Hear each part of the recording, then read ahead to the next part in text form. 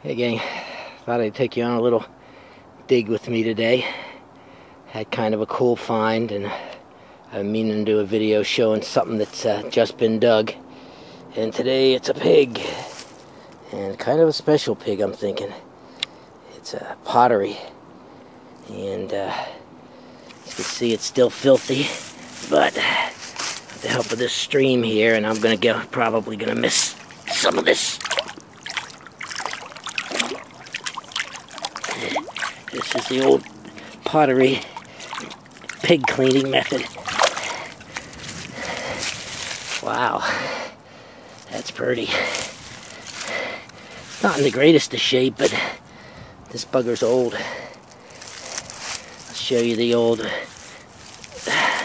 opening. They say it's all pottery. Uh, ooh, I can't even guess at how old it is, but they don't make these things anymore. I might have busted the ear off, but considering how long it's been buried, long time, it's uh, it's in pretty good shape. Mainly the, the faces, and you can see there's some nice workmanship on that face. See the way the eyes are uh, embedded, and the snout kind of cool too. I don't know if you can see that, but quite cool. I'm hoping there'll be some marks on the bottom. Still a little dirty. But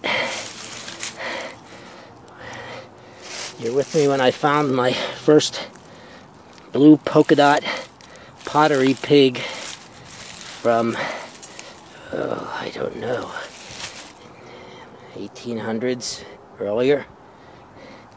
I have to go online now and see. Say goodbye to the folks.